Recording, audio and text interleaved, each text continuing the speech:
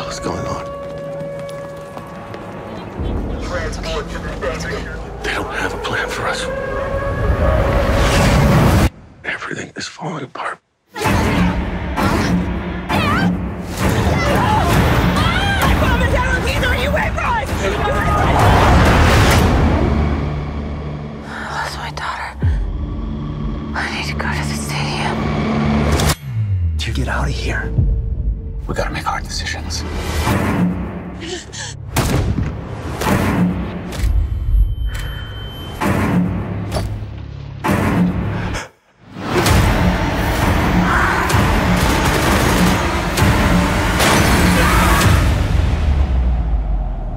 Is there anywhere that's safe?